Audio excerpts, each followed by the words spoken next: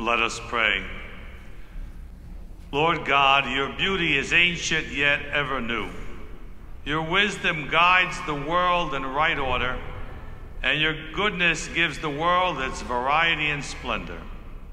The choirs of angels join together to offer their praises by obeying your commands.